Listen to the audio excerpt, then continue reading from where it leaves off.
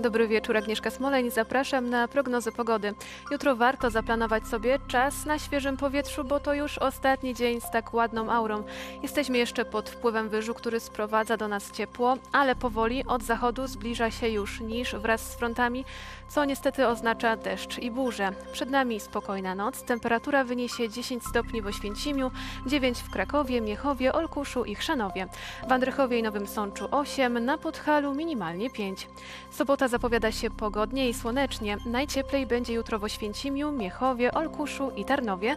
Termometry wskażą tam 26 stopni, w Gorlicach i Nowym Sączu 25, w Zakopanem i Nowym Targu maksymalnie 22.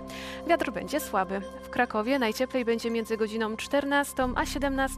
Na termometrach zobaczymy maksymalnie 26 stopni. Ciśnienie lekko spadnie jutro w południe, wyniesie 989 hektopaskali. Biometr w nocy korzystny, a w ciągu dnia obojętny.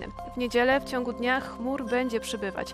Po południu może popadać i zagrzmieć. Na termometrach zobaczymy od 24 do 26 stopni. W poniedziałek maksymalnie 22, chwilami będzie się chmurzyć i mogą przydać się parasole. I ostatnia mapa z poziomem pyłu PM10. Powietrze może być jutro gorszej jakości w Krakowie i Tarnowie. Udanego weekendu. Do zobaczenia.